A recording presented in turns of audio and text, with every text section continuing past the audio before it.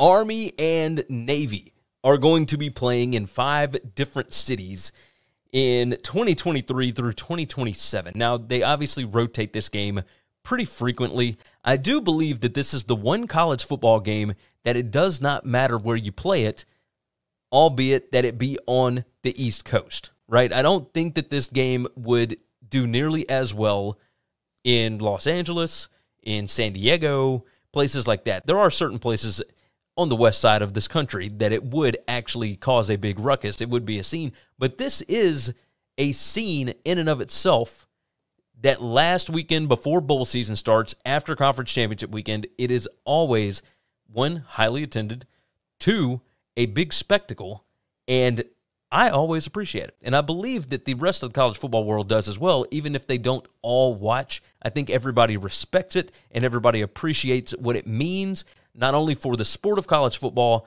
but for the country as a whole. Right? This is a. It, I talked about sacred earlier. This is a sacred event, and they are continuing to move this around. The dates, as of right now, I'm not going to get into specific dates, but 2023, they're moving it to Foxborough, uh, where the Patriots play. All of these will be in NFL stadiums, by the way. So, Foxborough, uh, Massachusetts. 2024 is Landover, Maryland. That is where the Washington football team plays, or the Commanders, as you say now. 2025 is Baltimore, Maryland, where the Ravens play. 2026, East Rutherford, New Jersey. And of course, that is the Jets and the Giants. And Philadelphia, Pennsylvania, of course, Lincoln Financial, where the Eagles play. They have done Philly and East Rutherford multiple times. I I do wish at some point that we could see it uh, at at Michie Stadium, and I believe it's Michie Stadium. Good gracious, if I, if it's not, Army fans, hit me up. Let me know. I don't have it on on me right now. I don't have my notes down, but I, I do like the idea of rotating this game. Now, I'm not a huge fan of neutral site games in and of themselves because it takes away some of that college atmosphere.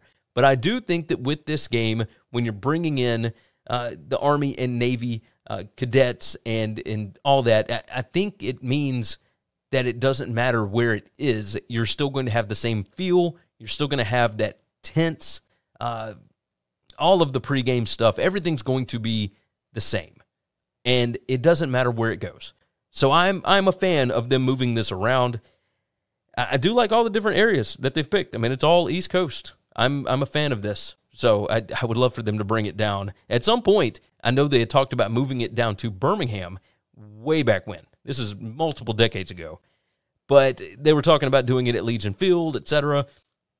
You could put this thing at uh, Mercedes-Benz Stadium in Atlanta. You could take it to the Superdome in New Orleans. Like all these, again, it would be highly attended and just a spectacle. I would love to see the South get some of this, but this does feel much more like a, a Northeastern, East Coast kind of game. So I'm good with what they are doing. And of course, I will continue to watch. Thanks for listening to the Winning Cures Everything podcast. The website is winningcureseverything.com, and if you want to connect with us, we're on Twitter at Gary WCE, at Chris B. Giannini, at Winning Cures, or you can email us, Gary at winningcureseverything.com or Chris at winningcureseverything.com. Subscribe everywhere you need to subscribe, and we'll see you soon.